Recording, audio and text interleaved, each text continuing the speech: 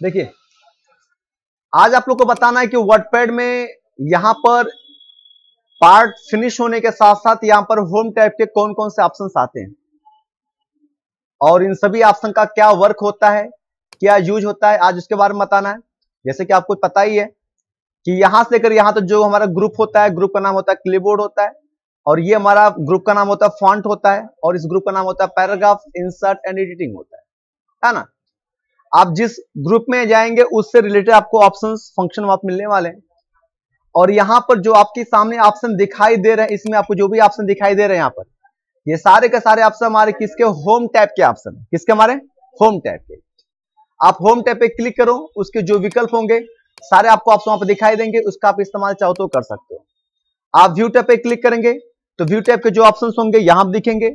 इस पर क्लिक करेंगे तो हमारे ऑप्शन यहाँ दिखेंगे। इनमें से सबसे पहला हमको बताना है कि कट और कॉपी और पेस्ट का इस्तेमाल कैसे और कहाँ पे किया जाता है है ना? इसके पश्चात बताया जाएगा आपको यहाँ पर फॉन्ट में इसका कार्य क्या होता है इनका क्या क्या कार्य आपका होता है।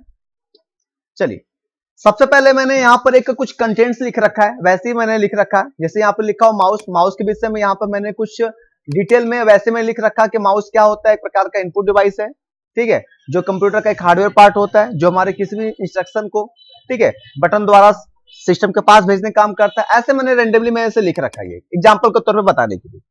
ऐसे मैंने कीबोर्ड के विषय में किया, ठीक है? ऐसे मैंने आकर या प्रिंटर मशीन के विषय में किया, इसी प्रकार मैंने साउंड के विषय में कुछ आकर लिख रखा हूँ।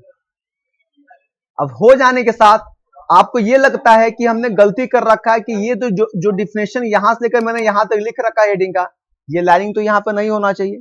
ये लाइनिंग तो बल्कि मेरा यहाँ पे होना चाहिए था, इस स्थान पे होना चाहिए था। या तो यहाँ से लेकर यहाँ तक जो पैराग्राफ है, यहाँ भी होना चाहिए हमारा यहाँ भी होना चाहिए, दोनों स्थान पर हमारा होना चाहिए। तो यहाँ से और यहाँ पे मतलब एक स्थान किसी और जगह ले जाने के लिए कॉपी करके या मूव करा के ले जाने के लिए इस्तेमाल करते हैं कट कॉपी और पेस्ट ऑप्शन का इस्तेमाल किया जाता है। तो हमेशा पेस्ट ऑप्शन ही लेके जाता है, हमेशा पेस्ट ऑप्शन लेके जाता है, ये ध्यान रहे। तो सबसे पहले क्या करेंगे कि हमको जिस पार्ट को उठाकर यहाँ पे लेके आने तो पहले कर्सर को लेकर आएँगे कर्सर जो आपका ब्लिंक करा सो को कर्सर कहते हैं। रुको, मैं कुछ जूम कर दूँ। ताकि आपको अच्छे से दिखने और दिखे। एक मिनट रुको, चलो चलिए, जहाँ पे ब्लिंक करते हैं, उसको हम लोग कर्सर कहते हैं। अब सवाल ये होता है कि ये तो हमारा पेस्ट लाने काम करता है तो क्या यहाँ से लेकर यहाँ तक जो पैराग्राफ आपका है, क्या मूव करा के यहाँ पर लाना चाहते हैं या कॉपी करके यहाँ पर लाना चाहते हैं? यदि आपको मूव करा के ले आना है मतलब यहाँ पर न उठ कर पूरी लाइन यहाँ से खत्म होकर यहाँ पर आ जाए तो हम लोग कट और लाकर पेस्ट करते हैं। है ना? लो मैंने किया कट देखो यहाँ से मिट गया कट हो जाएगा यहाँ से।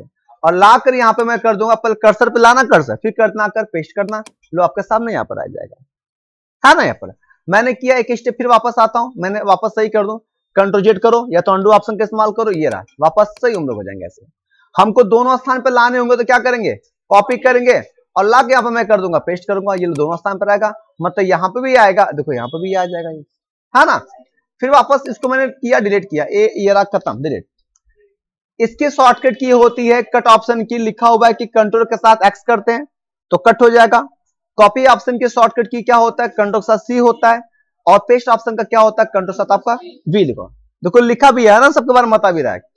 इसके पश्चात, अब यहाँ पर आगे चलते हैं। लिखा हुआ फॉन्ट में आपको जितने भी आपसे मिलेंगे, सबका काम फॉन्ट से रिलेटेड आपको ऑप्शन काम करने को मिलेगा। पहले ऑप्शन का नाम होता है फॉन्ट फैमिली देखो, नाम बता भी रहा है। इसके डिफिनेशन के साथ बता रहा लिखा हुआ चेंज द फॉन्ट फैमिली मतलब यहाँ से फॉन्ट की जो स्टाइल होती है, उसको हम चेंज कर सकते हैं, बदलाव कर सकते हैं। उससे पहले मैं इसकी साइज़ किसमें पहले पहले मैं कुछ बड़ा कर लूँ, तब आपको अच्छे दिखेगा। लो मैं साइज़ मैंने बड़ा किया। अब यहाँ पर आ जाओ, इस पर क्लिक करिए। यहाँ पर आपको कई प्रकार के फॉन्ट की स्टाइल मिलने वाली है। इसमें से आपको जो भी लगता है फॉन्ट की स्टाइल इस्तेमाल करना चाहिए। बेशक उसका इस्तेमाल आप चाह तो कर सकते हो। देखो, ये भी फान की स्टाइल ही है। ये भी स्टाइल है। ये रहा तो कहीं ये रहा तो कहीं ये रहा। तो कहीं ये रहा। है ना? अब कोई भी लगा सकते, कुछ ऐसे भी लगा सकते हो, कहीं आप लोग ये भी लगा सकते हो। कहीं ये लगा सकते हो। अच्छा कोई इसमें बताएगा कोई होशियार बच्चा, कि मान लो कि हमने यहाँ से जो फान की स्टाइल जो मैं चुनाव कर रहा हूँ, यहाँ से आकर ऐसे मैं लगा रहा हूँ तो सिर्फ़ इस पे माउस पे ही क्यों इफ़ेक्ट लग रहा है? इन सब पे क्यों नहीं लग रहा है? हाँ बहुत अच्छा वेरी गुड यहाँ पर ओनली हमने माउस को सिलेक्ट कर रखा है तो इसके वजह से सिर्फ़ माउस पे इफ़ेक्ट लगाए जा रहे हैं, लग रहे हैं। यदि मेरा पूरा पार्ट सेलेक्ट होता है तो पूरे पार्ट हमारा क्या होता है? वो फांट की वो लगना चालू हो जाता है ना? चलिए, मैं यहाँ पर आता हूँ, मैंने किया बोल्ड सॉरी ये एरिया ब्लैंक पे किया, देखो बदलाव हमारा हो जाएगा। इस तरीके से जिसका भी स्टाइल बदलाव करना होगा, वो बेशक आकर यहाँ से हम लोग बदलाव कर सकते हैं, देखो, ये भी स्टाइल एक है, यहाँ पर जाओ, ये भी एक स्टाइल मिलेगा यहाँ से आकर, ठीक है? आप एक ही लगाओ, या सब पे डिफरेंट डिफरेंट टाइप्स का लगाओ स्टाइल कोई दिक्कत नहीं, आप लोग आकर यहाँ से लगा सकते हैं, ठीक है? ऐसे लगा सकते हैं। इसके साथ आगे चलता हूँ, इसका नाम होता है फॉन्ट साइज़ जो हमने टेक्स्ट लिख रखा हूँ, इसकी साइज़ किसी का बड़ा करना पड़ गया, कभी छोटा करना पड़ गया तो छोटा या बड़ा करने के इस्तेमाल करते हैं, अगर यहाँ से करते हैं सिलेक्टेड करेगा आकर इतने पार्ट का जिसको हमको साइज़ इंक्रीज करना हो, और इसके पश्चात यहाँ पर रहेगा इस पर क्लिक करेगा। जितना नंबरिंग आप लोग अधिक आएँगे, उतनी साइज़ बड़ी होगी नंबरिंग छोटा होने पर आपका यहाँ पर साइज़ छोटी होगी यहाँ पर। यहाँ पर मैं आता हूँ, मैं इतना किया, अगर बीस किया, अठारह करो, कोई दिक्कत नहीं है। ऐसे यहाँ पे सिलेक्ट किया, अगर यहाँ पर इस पर क्लिक किया, यहाँ से साइज़ को मैं चाहूँ तो बड़ा कर सकता हूँ, चाहो तो मैं आकर छोटा भी कर सकता हूँ। ठीक है डायरेक्टली किसी नंबर तक हम लोग पहुँच सकते हैं है ना ये? चलिए, मैंने किया अठारह किया? इसके पश्चात यहाँ पे लिखा होगा, इसका नाम होता है ग्रो फॉन्ट इसका नाम होता है स्ट्रिंग फॉन्ट जो मैं काम आकर यहाँ से इस सांस में कर रहा हूँ, वो दोनों काम आकर मैं यहाँ से भी कर सकता हूँ, बेशक कोई दिक्कत नहीं होगी। अंतर ये होता है कि यहाँ से डायरेक्टली किसी नंबर तक पहुँच के डायरेक्टली किसी की साइज़ बड़ा कर लेते हैं या छोटा कर लेते हैं और यहाँ पे क्या होता है कि दो दो पॉइंट के अनुसार साइज़ हमारी इंक्रीज और या तो छोटा होता है है ना? देखते हैं कि काम कर रहा है कि नहीं काम कर रहा है। मैं इसको सेलेक्ट किया साउंड को और इसके साइज़ में कुछ इंक्रीज करना है। मैं यहाँ पे, इसमें क्या है? ग्यारह। है इस पे क्लिक किया। ठीक है? बारह, चौदह, सोलह, अठारह, है ना? बीस, बाईस। देखो, दिख रहा है यहाँ पर है। ये देखो दो दो पॉइंट के अनुसार साइज़ यहाँ से इंक्रीज कर सकते हैं और यहाँ से डिक्रीज मतलब छोटा भी चाहते हो स्ट्रिंग वगैरह भी कर सकते हैं। ठीक है? मेरे ख्याल से कोई डाउट कोई दिक्कत इसमें नहीं होना चाहिए। आगे चलते हैं। इसके पश्चात लिखा है बोल्ड बोल्ड में डार्क करना, गाढ़ा करना। हम किसी पार्ट को सिलेक्ट कर लें, किसी भी टेक्स्ट को हम दोबारा इस पर क्लिक करेंगे, देखिए कुछ डार्क हो जाएगा। इसके तुलना में देखिए कुछ डार्क आपको दिखाई दे रहा है। है ना? इसके साथ दोबारा सिलेक्ट करके मैं इसे क्लिक करूँगा तो हमारा क्या होगा? अनबोल्ड हो जाएगा, ये हटा देगा ये। इसके पश्चात जिसको सिलेक्ट करोगे, उस पर हमारा इफ़ेक्ट लगना चालू हो जाएगा। इसको यदि मैं सेलेक्ट करूँ इस वाले माउस को, मैं यहाँ पे क्लिक करूँगा।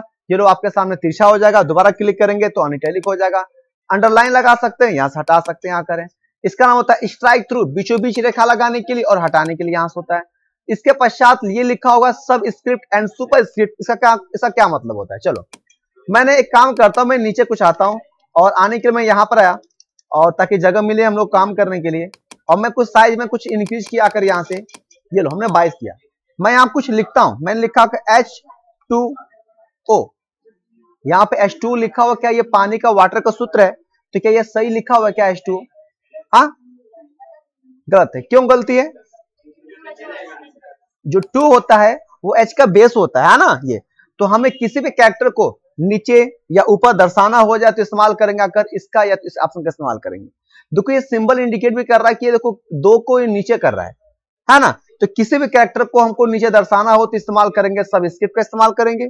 जब हमें किसी कैरेक्टर को ऊपर दर्शाना होगा तो इस्तेमाल करेंगे आकर सुपर स्क्रिप्ट का इस्तेमाल करेंगे। चलो, मैंने इस पर क्लिक किया, देखो, इसके नीचे हमारा आ जाएगा, ऐसे, है ना। अब ये वाटर का सूत्र एक जेनविन तरीके से हमारे, अब ये राइट है या सही है? मैंने एंटर किया। इसके पश्चात यहाँ पे लिखा हुआ है सुपर स्क्रिप्ट यदि मैं टेंथ लिख दूँगा कर यहाँ पर, और हमको यहाँ पर इसको ऊपर करना है टीएच को तो बेशक मैं यहाँ पर सिलेक्ट करूँगा कर यहाँ पर। सिर्फ़ टीएच को सिलेक्ट मैं करूँगा, इस पर क्लिक करूँगा, ये टेंथ आपका सामने हो जाएगा। है ना ये? आगे चलता हूँ। हाँ हाँ। तो पूरा पार्ट आपको पता चला जाएगा। तो यदि मैं इस पूरे भाग को जैसे मैंने इसको हटा दिया, मैं इसको पूरा सेलेक्ट में कर लूँगा कर तो सिस्टम उसको क्या करेगा? सबको ऊपर कर डालेगा ये। कैरेक्टर भी चला जाएगा नंबर के साथ कैरेक्टर भी चले जाएँगे यहाँ पर। भाई सिस्टम का काम होता है कि इसके माध्यम से किसी कैरेक्टर या नंबर की साइज़ छोटा करके ऊपर लाना, ठीक है? वो सिस्टम तो क्यों जान पा रहा है कि यहाँ पे एस टू लिखा हुआ है? वो तो हमारे और आप नज़र में है ना सिस्टम नज़र में सिंपल एक करेक्टर यहाँ पर है और नंबर यहाँ पर है। तो जिसको भी ऊपर करना हो या नीचे दर्शाना होगा तो इस्तेमाल इसका या तो इसका इस्तेमाल किया जाएगा। इसके पश्चात यहाँ पर आते हैं, इसका नाम होता है टेक्स्ट हाईलाइट कलर होता है। आपको पता ही है कि एक हाईलाइटर पेन आता है, काम ये होता है कि जो भी पुस्तक होती है, जो भी आपके नोट्स होते हैं, उनमें जो इंपॉर्टेंट लाइनिंग होती है, जो महत्वपूर्ण लाइनिंग होती है, उसके पीछे क्या करते हैं या तो उस स्थान पर क्या करता है, हाईलाइटर का पेन चला देते हैं। ठीक है? जिससे मालूम चलता है कि इस पेज का सबसे मुख्य और सबसे महत्वपूर्ण पार्ट हमारा ये है ना? यदि आप कंप्यूटर में कुछ नोट्स बना रहे हो कोई कंटेंट्स लिख रहे हो इनमें से कोई आपके लिए लाइनिंग बहुत ही महत्वपूर्ण लग रहा है तो उसको हाईलाइट करने के इस्तेमाल करते हैं, यहाँ पे हाईलाइट ऑप्शन का इस्तेमाल करते हैं। तो पहले आपको उसको सिलेक्ट करने पड़ेंगे, जो वर्ड्स जो सेंटेंस जो पैराग्राफ आपके लिए महत्वपूर्ण। हो सिलेक्ट करेगा, इसके पश्चात यहाँ पर रहेगा और यहाँ पे आपको वो कलर मिलेंगे जो हाईलाइट कलर मिलते हैं, अधिकांश कलर आपका ये इस्तेमाल होते हैं। इस पर क्लिक करो ये हाईलाइट कर देगा। यहाँ पे आ जाओ, आप यहाँ से यहाँ सेलेक्ट करो, वापस यहाँ पर आ जाओ मतलब यहाँ से किसी टेक्स्ट के पीछे हाईलाइट कलर लगाने का अगर यहाँ से आ जाएगा। ठीक है? इसके पश्चात, यहाँ पर जाते हैं, इसका नाम होता है टेक्स्ट कलर। जो मैंने यहाँ पर नाम लिख रखा हूँ टेक्स्ट लिख रखा हूँ या हेडिंग लिख रखा हूँ, उसका कलर चेंज करना चाहते हैं, ब्लैक के स्थान पर कोई और कलर देना चाहते हैं तो कलर बदलाव करने के सिलेक्ट करेगा आकर यहाँ पर। पहले से आपको ब्लैक होता है कलर, मैं यहाँ पर आ जाऊँ और इसके साथ में इसका इस्तेमाल करूँगा, कलर रेड हो जाएगा। ठीक है? यहाँ से मैं कोई भी कलर यहाँ पर चुनाव में चाहूँ तो यहाँ से कर सकता हूँ। ठीक है? जो भी आपको कलर पसंद है ठीक है? बेशक मेरे ख्याल से मुझको इतना प्रैक्टिकल बताने थे। आपको कंप्लीट हुआ, सब चेक कर लीजिएगा, ठीक है?